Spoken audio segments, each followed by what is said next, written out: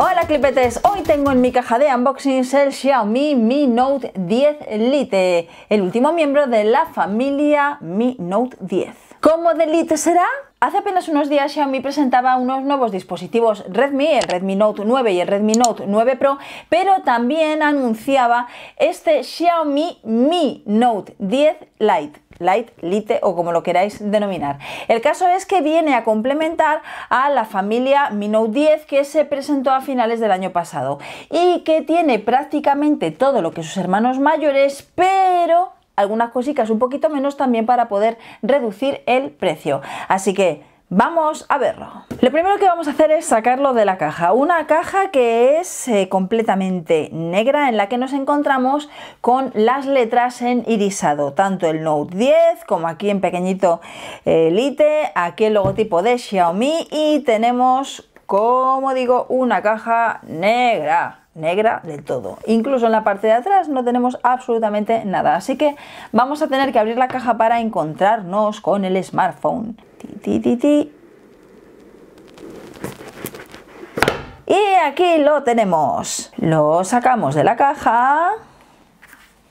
Vemos que es bastante oscuro, luego veremos bien el color. Lo primero es esta cajita blanca y en ella nos encontramos con el pinchi. Un pinchi normal y corriente. Vamos, para poder abrir la bandejita. Tenemos también papeles. Tenemos por un lado la guía de usuario, un buen tochito, y tenemos también la tarjeta de garantía. ¿Y qué más nos encontramos aquí en este cartón? Bueno, pues algo que sin duda alguna nos gusta a la mayor parte de nosotros, que es una funda protectora. Una funda de silicona oscura, este es eh, color eh, negro, que nos va a permitir proteger nuestro smartphone desde el primer momento, desde el momento en el que lo saquemos de la caja. Luego que queremos otra funda que nos guste más de coloridos y tal, bueno, pues ya la podremos comprar a posteriori, pero podemos empezar a utilizarlo sin riesgo desde el momento en el que lo configuremos. Más cosas que tenemos en la caja. Lo primero que vamos a sacar es el cablecito. Este cable que es un cable blanco USB tipo C por un lado, USB tipo A por el otro. Y este cable nos va a servir para cargar nuestro Mi Note 10 Lite con este cargador. Le quito el plástico y aquí estaría un cargador blanco brillante, un cargador pues eh, un poquito grande porque es un cargador de carga rápida. Tiene una potencia de carga de 30 vatios que es el máximo de carga rápida que admite el Mi Note 10 Lite. Y ahora es el turno de quitarle los plásticos al Xiaomi Mi Note 10 Lite. Voy a quitarle el plastiquito por aquí voy a quitar el plastiquito de delante y ya está.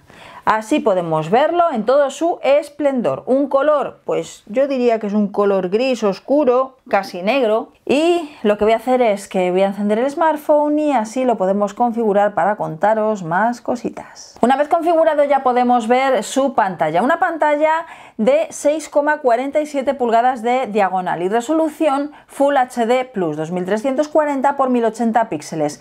En todo esto, incluida la tecnología AMOLED, es igual que sus hermanos mayores. De hecho, si lo miramos por el frontal, incluso el notch de gota podría parecer el Note 10 Pro. Y sin olvidar que, como sus hermanos, cuenta con una atractiva pantalla de bordes curvados. Donde sí que nos vamos a encontrar diferencias es en la parte trasera. Para empezar, número de cámaras. Pasamos de las 5 cámaras que tiene el Mi Note 10 y el Mi Note 10 Pro a 4 cámaras que tiene este Lite que tenemos aquí. Pero es que además todas las cámaras del Lite están en el mismo conjunto, físicamente hablando. Mientras que en el Mi Note 10 nos encontramos con un conjunto de cámaras que están ubicados en esta zona, pero también tenemos un par de cámaras que están fuera. En el caso de los Nolite, las cámaras sobresalen más del cuerpo y eso está directamente relacionado con la potencia de estas cámaras, porque nos encontramos con dos cámaras zoom y una cámara que tiene un sensor de 108 megapíxeles. A pesar de esta diferencia, el peso es prácticamente el mismo y el grosor del smartphone también. Estamos hablando de 204 gramos de peso frente a los 208 gramos que pesa el Note 10 normal. Pero vamos con el tema de las cámaras, que ya que estamos en la parte trasera, porque antes decía que tenía cuatro cámaras. La cámara principal pasa de los 108 megapíxeles que tienen sus hermanos a los 64 megapíxeles, que tampoco está nada mal. Este sensor agrupa los píxeles de 4 en 4 como hacen otros eh, sensores también con gran resolución, incluido el sensor de 108 megapíxeles de sus hermanos, a través de la tecnología Superpixel, que es como lo llaman ellos. El objetivo tiene una luminosidad f1.89. Además de esta cámara tenemos una cámara ultra gran angular con una cobertura de 120 grados. El sensor de esta cámara es de 8 megapíxeles y tiene una luminosidad el objetivo f2.2. ¿Qué más cámaras tenemos? Pues tenemos una cámara macro, una cámara con un sensor de 2 megapíxeles y con un objetivo de luminosidad f2.4. Y adicionalmente tenemos una cuarta cámara. Esa cuarta cámara no hace fotos, ayuda a medir la profundidad para conocer la distancia de los objetos y así poder realizar de una manera más precisa el desenfoque de los objetos cuando estamos utilizando, por ejemplo, el modo retrato. El sensor de esta cámara es de 5 megapíxeles y tiene un objetivo f2.4. En definitiva, aquí es donde nos encontramos la mayor diferencia con respecto a sus hermanos en el conjunto de cámaras. Nos parece correcto el uso de un sensor de 64 megapíxeles por debajo de la resolución de 108 megapíxeles que debería darnos muy buenos resultados en términos de nitidez hay nada que objetar. Nos parece adecuado que sigan manteniendo una cámara ultra gran angular, porque a nosotros además es un tipo de fotografía, una cámara que nos encanta, pero nos extraña que hayan apostado por la tendencia de poner una cámara macro y una cámara para medir la profundidad cuando se podría haber resuelto esos dos puntos con una sola cámara, una cámara con un objetivo tele. Un objetivo tele que podría, por un lado, ayudar a medir las distancias para poder realizar el desenfoque de fondo en los retratos, por otro lado, ser utilizado para hacer fotografía macro, puede que no perfecta, pero para salir del paso. Y en un tercer punto, por supuesto, utilizar ese objetivo para hacer fotografía tele. Vamos, pues un 2x no se hubiese valido. Así que son las cámaras motivo suficiente para desembolsar 70 euros más por el Mi Note 10. Pues depende, como siempre, depende. Dicho esto, nos encontramos con que este Mi Note 10 Lite tiene un precio de 399 euros en la configuración de 6 GB de memoria RAM con 128 GB de almacenamiento. En esa configuración, el Mi Note 10 tiene un precio de 469 euros, es decir, 70 euros más. ¿Qué pagamos por esos 70 euros más?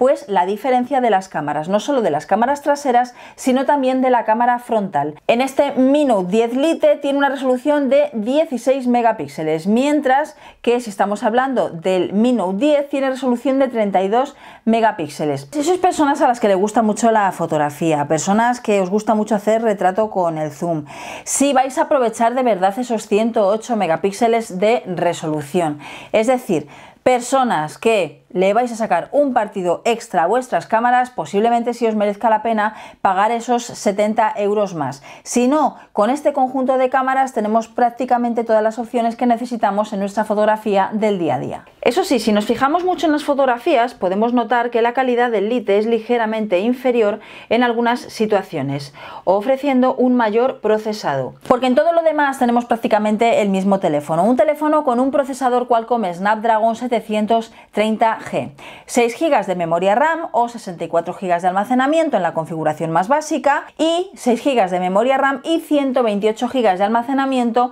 en una configuración un poco más alta, aunque también existe, dependiendo de los mercados, configuración de 8 y 128. Curiosamente en los benchmark la versión Lite ha dado un resultado ligeramente superior a sus hermanos mayores, aunque esto tampoco es muy significativo. Que sí, oye, que a lo mejor a todos nos gustaría que incorporase el procesador Qualcomm con Snapdragon 865 con 5G y ahí todos los complementos. Pero oye, si hay alguien que quiere ese procesador, pues siempre tiene la opción del Xiaomi Mi 10 que lo incluye, pero también incluye más del doble de precio, bueno, bastante más, porque está en los 1000 euretes. Hablando de eficiencia energética, tenemos que hablar de la batería, 5260 mAh, que nos va a dar una autonomía, si se parece un poco a sus hermanos, bastante buena, más de un día de un uso intensivo. Su batería la podremos cargar mediante carga rápida con una máxima potencia de 30 vatios, que es el cargador que incluye en la caja. Así que eso lo tenemos cubierto. Y venga, vamos a hacer un repaso físico. En este lateral nos encontramos con la bandejita para las tarjetas. Dos huecos para dos tarjetas nano SIM. Cuenta con una junta tórica, pero no tiene certificación IP. Sí que es resistente a salpicaduras. Nos encontramos también con el botón de encendido, apagado y bloqueo. Tenemos el control de volumen. En la parte superior nos encontramos con un sensor infrarrojos para poder utilizar este Mi Note 10 Lite como mando a distancia universal, tenemos micrófono, en este otro lateral pues no tenemos absolutamente nada. Y en la parte de abajo tenemos altavoz, tenemos conexión USB tipo C y tenemos conexión mini jack para auriculares. Acompañando al procesador nos encontramos con Android en versión 10, que tiene la capa de personalización que ya conocemos MIUI 11 de Xiaomi. Y para el desbloqueo biométrico tenemos dos opciones. Una de ellas es el desbloqueo facial mediante imagen 2D y la otra es utilizando el lector de huellas dactilares óptico que incluye bajo pantalla. Y ahora vamos con una de las cosas que más nos importan y además hablando de Xiaomi muchísimo más, que es el precio. Este Xiaomi Mi Note 10 Lite o Lite, como queráis llamarlo, tiene un precio de 349 euros en su versión de 6 GB de memoria RAM con 64 GB de almacenamiento.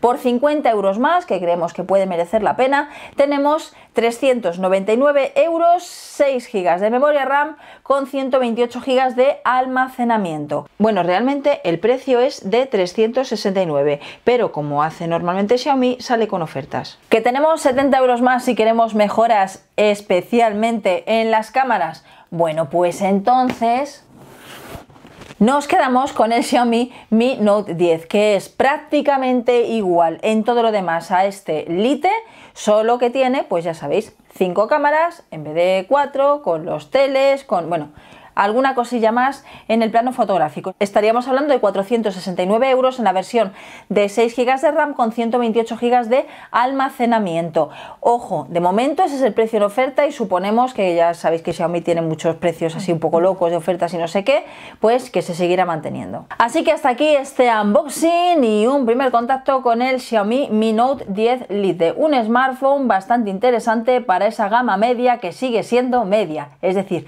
de 300 y pico euros. Esperamos que estéis sanos, salvos y en vuestras casas. No volváis locos que ya no queda nada para ir a abrazar a todo el mundo con seguridad. Nos vemos en el siguiente vídeo.